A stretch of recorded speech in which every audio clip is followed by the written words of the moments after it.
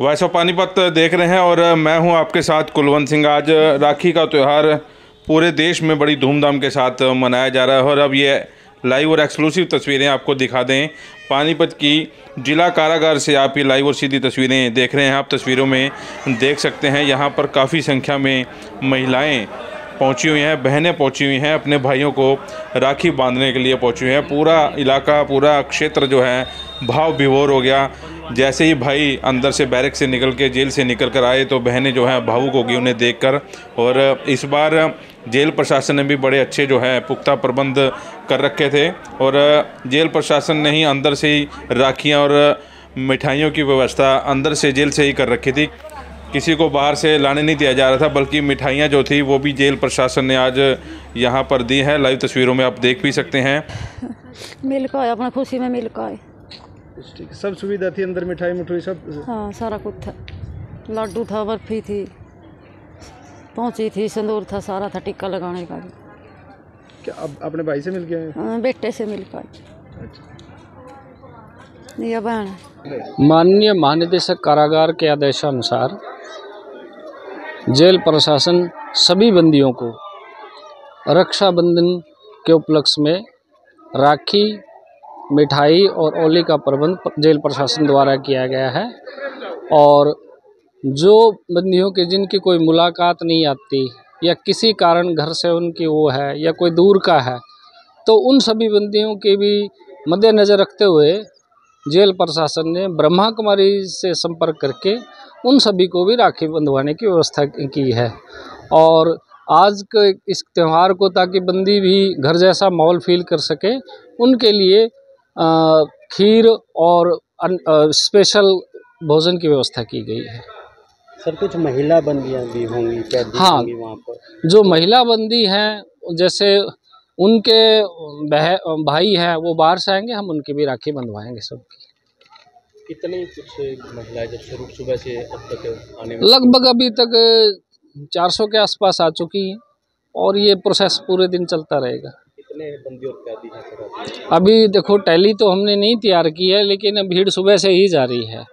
जब तक ये शाम तक आएँगे तो हम सबके करवाएँगे। सर क्योंकि राखी का त्योहार इस बार दो दिन मनाया जा रहा है तो क्या कल भी यही नहीं ये सरकार की तरफ़ से जो व्यवस्था थी वो आज के लिए ही थी।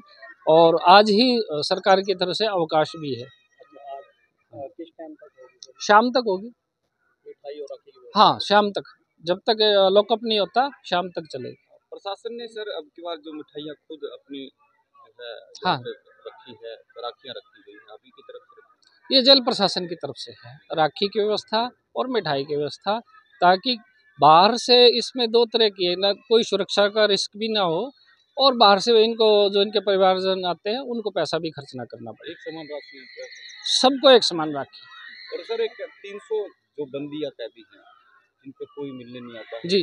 उनको है हाँ जिनको जैसे कुछ बंदी ऐसे हैं जिनसे परिवार से कुछ ही न किसी कारण से तालमेल नहीं है या किसी के बहन नहीं है या कोई दूर का है आउट ऑफ़ स्टेट है तो उन सबको हमने ब्रह्मा कुमारी जी से संपर्क करके सभी को राखियाँ बंधवाई। बहन और भाई जो हैं, इकट्ठे हुए हैं। पूरा पूरा जो परिसर है, वो भाव विभोर हो रहा है, क्योंकि काफ़ी दिनों बाद ये भाई बहन मिले हैं और एक साल बाद ये त्यौहार आता है। तो ज़ाहिर तौर पर जब भाई बहन मिलते हैं इन दिनों में तो दोनों तरफ़ से जो है, भावुक पल जो होते हैं, वो देखे जा सकते हैं।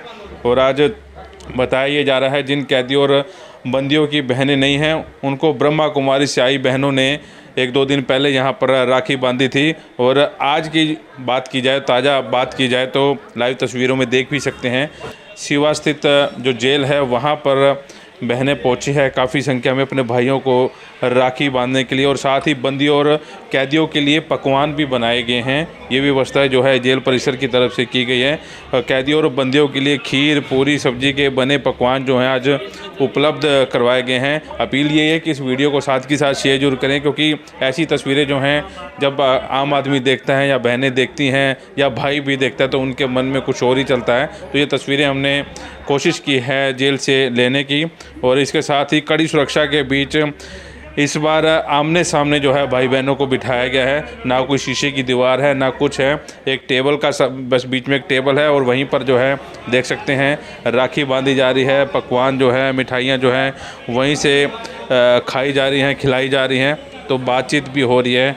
उन बहनों से भी बातचीत करवाने की कोशिश करते हैं और जेल प्रशासन ने क्या प्रबंध कर रखे हैं, वो आप लोग लगातार लाइव स्क्रीन के ज़रिए देख ही रहे हैं। सुबह से ही जो है बहनें यहाँ पर पहुँचना शुरू हो गई थी। काफ़ी संख्या में महिलाएँ और साथ ही बच्चे जो हैं, आप देख सकते हैं, बच्चे भी पहुँचे हुए हैं अपने मामा से मिलने के लिए। तो पुख्ता प्रबंध कर रखे थे।